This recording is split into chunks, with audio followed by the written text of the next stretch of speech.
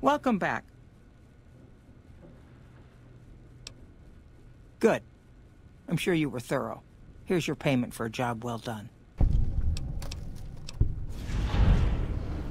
What would you like to know? All right.